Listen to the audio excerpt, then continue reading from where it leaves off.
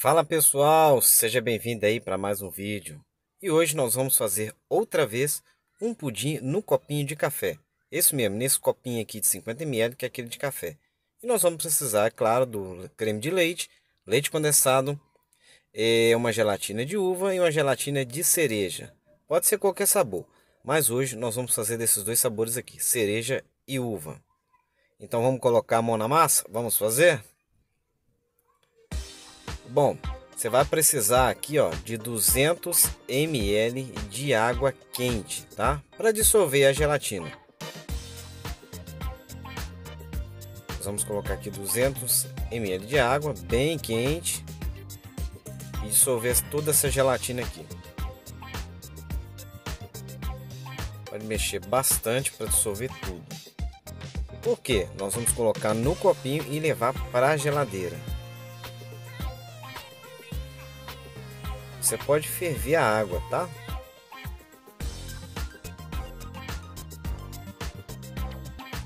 Já dissolveu tudo, agora nós vamos colocar no copinho.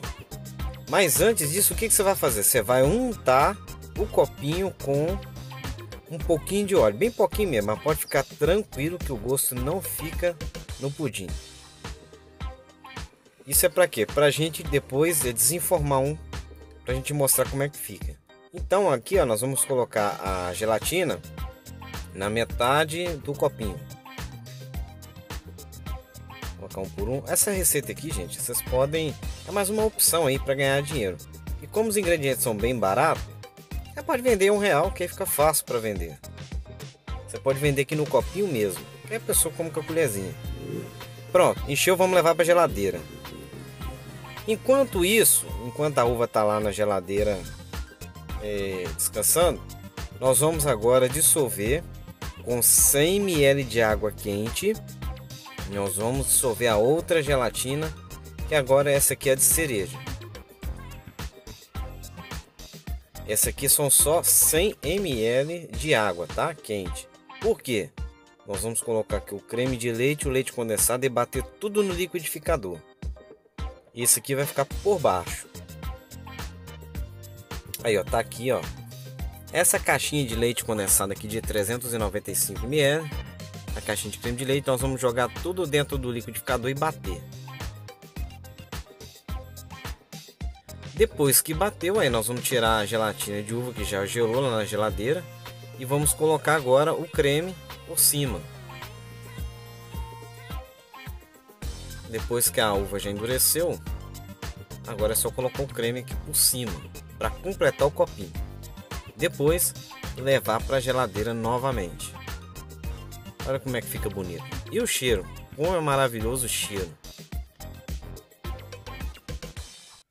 Aí, parece até aquele iogurte que vem naquele copinho, né?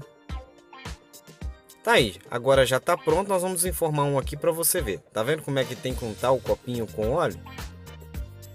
Aí, ó, ele sai inteirinho. Olha aí que maravilha. E tá pronto aí o nosso pudim de gelatina, feito no copinho de café. Agora é só saborear. E se você gostou do vídeo, então compartilha, se inscreva no canal e ative o sininho para notificação dos próximos vídeos. Tá legal?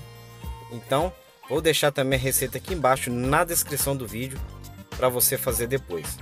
Tá bom? Então, desde já eu já quero te agradecer por você acompanhar o nosso vídeo, acompanhar o nosso canal e peço para que vocês continuem assistindo os nossos vídeos para nos incentivar a fazer mais outras receitas aqui para você, tá bom? Muito obrigado e até o próximo vídeo.